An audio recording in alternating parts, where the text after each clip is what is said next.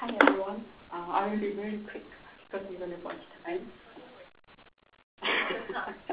So I will focus on why we try this um, exercise and what we found. So I will skip most of the details for tomorrow.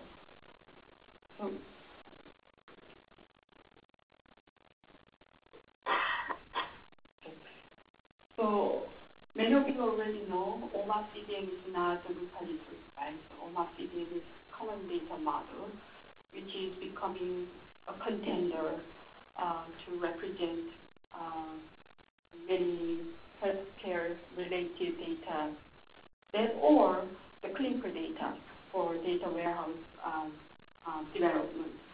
So we thought we would experiment whether the DATS can sufficiently represent those data, although we don't have any healthcare data sets readily available for indexing, because the idea is becoming,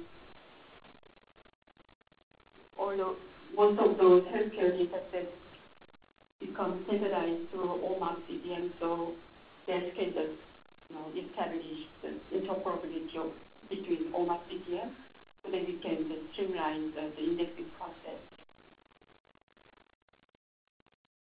Again, the goal is not to establish item-to-item cross-mapping between OMOP CDM and DATS, because we are not trying to replicate the content represented through OMOP CDM with DATS.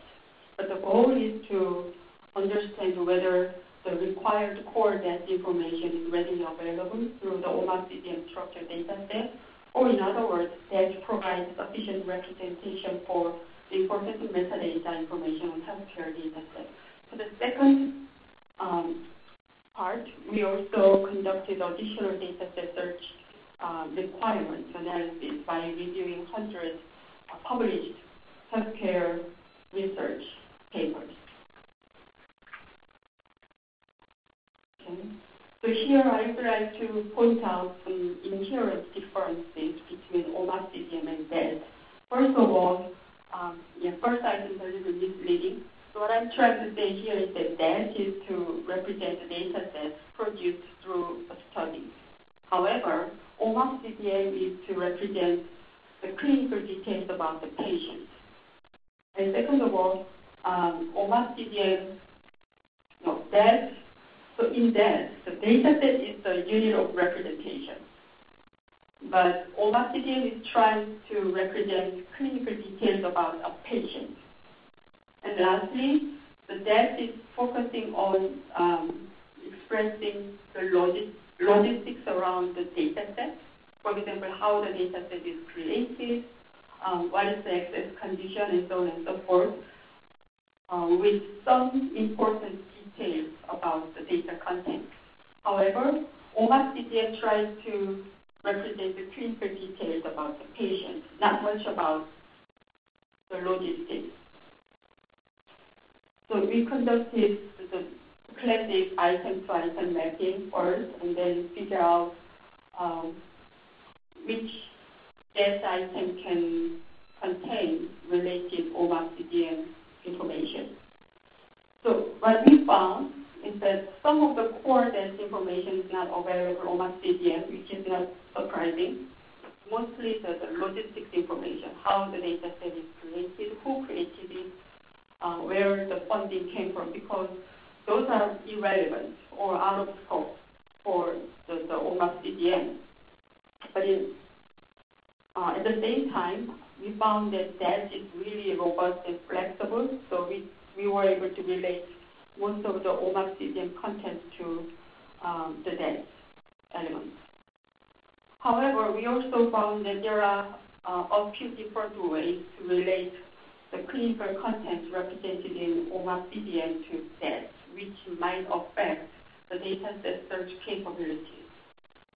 Um, those are mostly uh, related to clinical details, which Dr. Machado already mentioned um, in the morning. So for example, when we conducted the data set search uh, use case analysis, most of the healthcare research um, papers indicated uh, the researchers would search the data set using the um, demographic details about the patient and maybe a few other clinical details. For example, the third student, um, researchers would go to the DataMed and search for something like this, or find me a data set that contains Asian female with breast cancer. But right now, what we can do is find me the data set, maybe the patient with breast cancer, and the data set that contains gender and race information. That's all. So now the, the key challenge becomes how to expose this more detailed data content to the surface as a searchable um, metadata. So now we are planning to